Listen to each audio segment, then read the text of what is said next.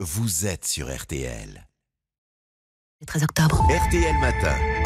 avec Yves Calvi. Il est 8h43, nous serons avec Laurent Gérard dans quelques minutes, mais tout de suite notre revue de presse. Amandine Bégaud et d'abord cette note qui risque de faire grincer des dents. euh, Ah oui, une note de la Cour des comptes que publie ce matin le journal L'Opinion et ce, en plein débat autour du budget. C'est, vous allez le voir, explosif. Yves, savez-vous combien vous coûte à vous chaque année la SNCF Hmm, Je n'en ai aucune idée. Près de 1000 euros, 905 euros précisément par an et par foyer fiscal imposable. Tout ça sans prendre le train. Si on rapporte ça à l'ensemble des Français, qu'ils payent ou non l'impôt, ça représente 224 euros par an et par habitant Sympa. sans prendre le train. Alors comment en arrive-t-on là? Eh bien, il y a, explique l'opinion, d'abord les coûts de fonctionnement. La SNCF loue ses services et ses infrastructures aux régions. Ça représente 5,3 milliards d'euros pour 2018. Il y a aussi la compensation du coût de certains tarifs sociaux, 2,9 milliards d'euros.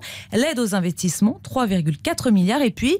Et puis le fameux régime spécial des cheminots Oui. pour permettre aux agents de la SNCF de partir à la retraite à 55 ans, voire à 50 hein, pour certains. L'État, écrit l'opinion, a versé en 2018 3,3 milliards d'euros à la caisse de prévoyance et de retraite du personnel de la SNCF. Cela représente les deux tiers, 62% des pensions et qui ont été versées l'an dernier. Je vous avais prévenu, c'est explosif. Dans ce contexte, et toujours à propos d'argent, le Parisien aujourd'hui en France publie ce matin une grande enquête de l'IFOP sur cette classe moyenne qui a de plus en plus le sentiment de souffrir d'un déclassement social. Près de 9 millions de Français, 17% de la population qui ne sont ni parmi les plus riches, ni parmi les plus pauvres, mais qui ont le sentiment de ne plus vivre comme avant. Benjamin et Céline, par exemple, lui, est informaticien, elle est éducatrice.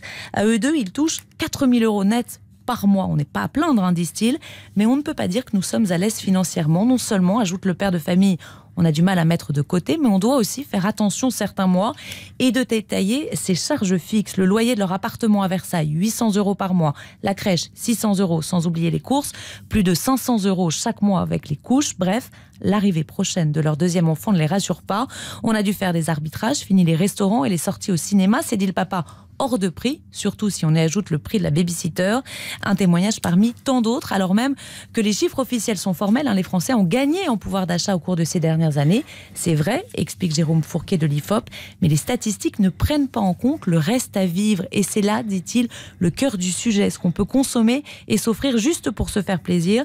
D'autant que dans notre société de consommation, on est sans cesse complété par la création de nouveaux besoins. Cela accroît, dit-il, ce sentiment de décrochage et redonner du pouvoir d'achat ne réglera pas tout. Le Parisien aujourd'hui en France, qui rend bien sûr aussi hommage ce matin à Eugène Sacomano, c'est d'ailleurs le cas de la plupart de vos journaux. Je vous conseille notamment, et ce n'est pas parce qu'il travaille ici à RTL, le très joli texte que signe Pascal Pro, c'est-à-dire dans le point. Eugène, écrit-il, était de 36, 36 comme Poulidor, solaire sous le pape François, 36 comme les congés payés quand on se promène au bord de l'eau. La belle équipe et la ritournelle de Jean Gabin. Eugène, poursuit-il, était l'icône des bars de Marseille, l'ami des chauffeurs de taxi à Paris, le 5 amelot des marchés de Provence, footballeur le soir, écrivain le matin. Il savait tout, notamment de Louis-Ferdinand Céline. Il était une voix, écrit de son côté l'équipe. Lisez notamment ce portrait daté de 2015, mais que le journal publie à nouveau sur son site internet. Euh, Pascal Glo, il raconte notamment euh, comment le très jeune Sacco a pris conscience de sa voix. C'était en cours de maths, écoutez bien, au lycée de Nîmes en 1951. Eugène Sacomano a alors 15 ans et il refait le match pour la première fois. On avait, raconte-t-il à l'époque, un prof sourd comme un pot qu'on appelait Zozo. On lui demandait Monsieur, est-ce que je peux aller baiser votre femme? Il répondait Attendez que votre camarade revienne. En pleine classe, raconte alors Sacco. Je commentais des matchs en imitant deux types qui m'impressionnaient à la radio, Georges Briquet et Bruno Delay. La classe, dit-il, adorait ça. C'est comme ça que ça a commencé à 15 ans, grâce à un prof un peu sourd. Le malheur des uns fait parfois le bonheur des autres. Tout à fait le genre d'expression que Gene Sacomano aurait pu prononcer. Il adorait ça, confie Vincent Duluc, notamment celle-ci.